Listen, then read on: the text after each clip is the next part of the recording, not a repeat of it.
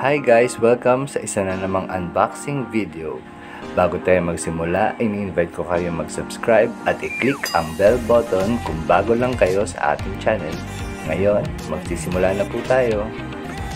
Ang tawag sa model ng ating i-unbox ngayon ay Seiko 5 in collaboration with Monkey DVV ng One Piece.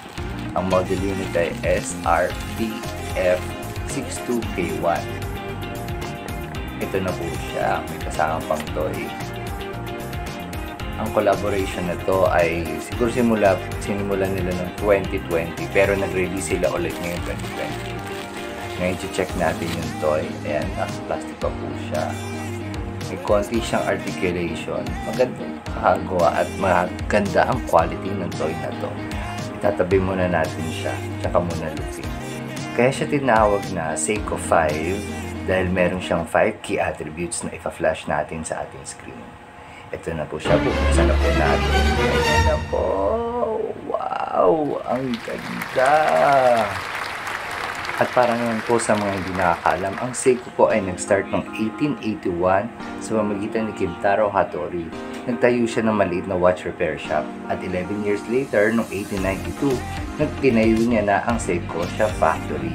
Isipin nyo, from watch repair shop, naging factory siya, di ba? Parang si Lufila, may pangarap maging pirate king. At ayan po, makita natin ang details sa magandang leather strap at ang mga kamay ni Luffy at ang kanyang signature straw hat sa 12 na mark. Bawat kamay, yun ang number ng watch na to. Yan. Actually, ang watch na to ay limited edition lang at meron lang tong 1,000 pieces. So, good luck na lang sa 999. Meron itong 24 jewels at nagkakalaga ito ng $964 or matagin 52,513.90 pesos.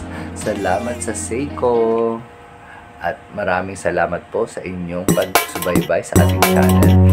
At don't forget to subscribe and click the bell button hanggang sa muli. Bye!